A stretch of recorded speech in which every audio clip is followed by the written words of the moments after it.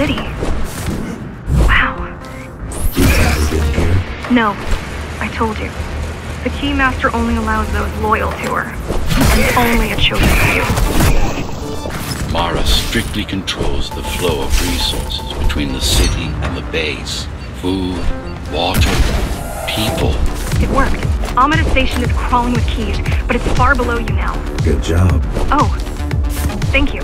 You still need to look out for the regular patrols. Our next goal is the repository, a data archive created to store knowledge about the world before the burst. It holds some of the documentation on Project Ghostrunner, Yes, some. only on what was already in development back then. So where do we go? What's the next step? Point me to the repository.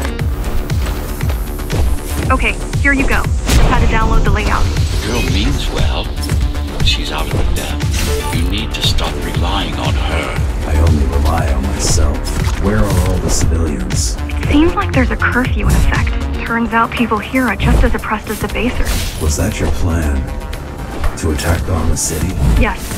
Until today, we thought we were ready. What were you waiting for? You.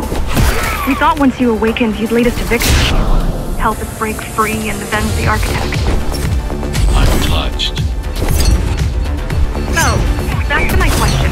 It's not that I doubt you, but are you sure you can take on the Keymaster by yourself? No. She killed 99 Ghostrunners, and she won't stop until she kills me, too. So you won't stop either until one of you is dead. Yes. I know how you feel.